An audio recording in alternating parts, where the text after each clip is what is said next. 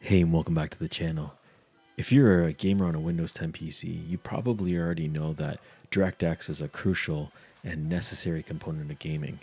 Regardless if you're using a GeForce or Radeon or something from Intel, it's a main piece of software that your computer uses to speak to your video card and send instructions back and forth.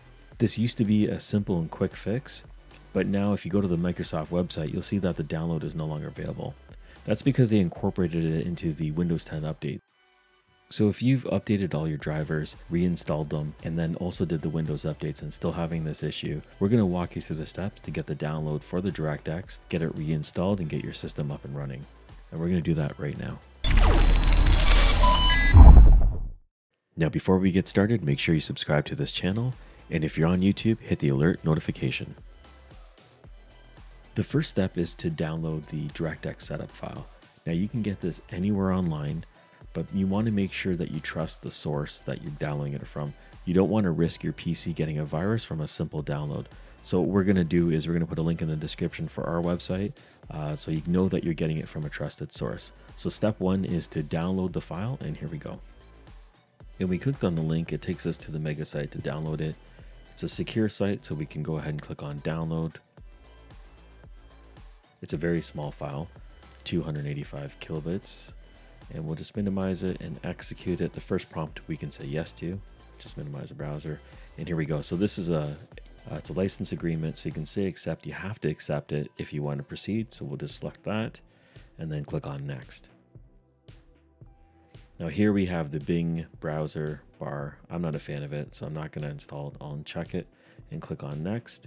And now it's going to check everything that we already have on the computer, and then it'll start downloading the components. There we go. So we clicked on next. Now this really depends on the speed of your internet.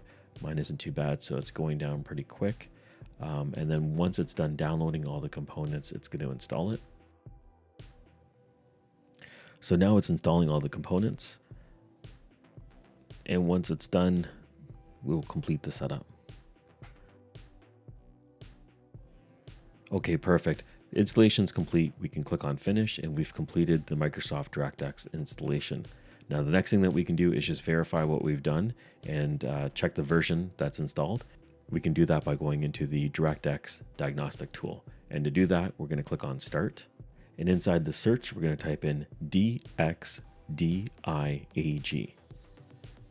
Hit enter. Now you get a prompt here to check if your drivers are digitally signed. You can say yes or no. It really doesn't really matter. You can say yes. I said yes. Um, and now the diagnostic tool comes up and we can check down here at the bottom. It says the DirectX version and it's version 12. So as of right now, February 2021, that is the current version that we can have installed on our computer. So everything is great. It's installed correctly as we wanted.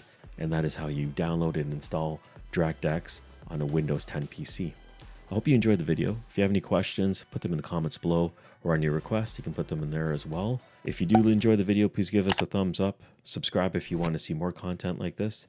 Thank you for watching and I'll catch you on the next one.